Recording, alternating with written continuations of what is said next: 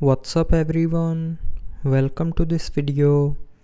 In this video i will show you how to turn off alarm on your poco f6 so first of all open clock app. Now go to the alarms tab.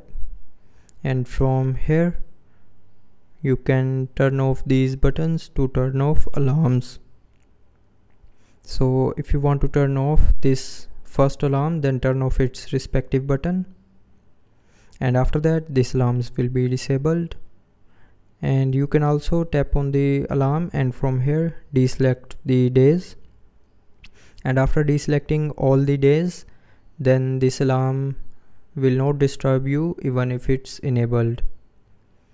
So that's how you can turn off alarm on your poco f6 so i hope you liked the video. Thanks for watching